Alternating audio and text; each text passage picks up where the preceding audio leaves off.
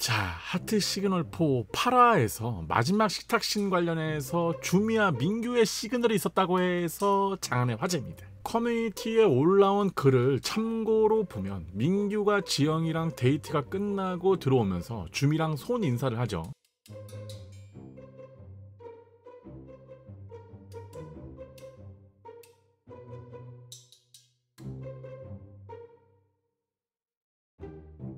그리고 옷 갈아입으러 가면서 시선이 다른 곳에 갔다가 다시 주미로 돌아오는 민규.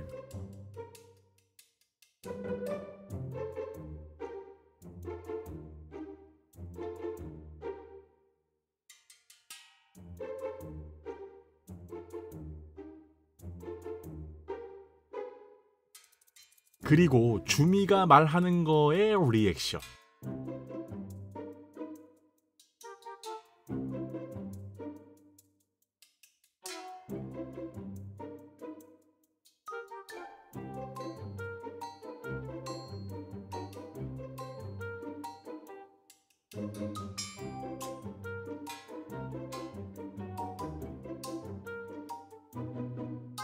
주미가 후신에게 똥촉이라고 했던 말에도 그냥 웃지요.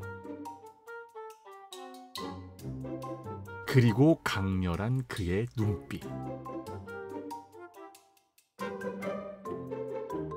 어때요? 가능성이 보이나요? 현재 댓글 반응은 존나 좋아. 크크크. 우선 댓달고 보려는데 스크롤 많이 내려진다. 크크크. 이번 아 주민규는 좀 설렌다. 뭣도 없다고 생각했는데. 크크. 주민규로는 운다. 너무나 좋은 것. 크크. 그냥 좋다. 안녕. 너무 귀여워. 중간에 차은우 민규. 크크크. 침투력 보소 크크크. 내 눈에만 그런 거 아니다. 다행. 존재. 반박씨 당신의 말이 맞아요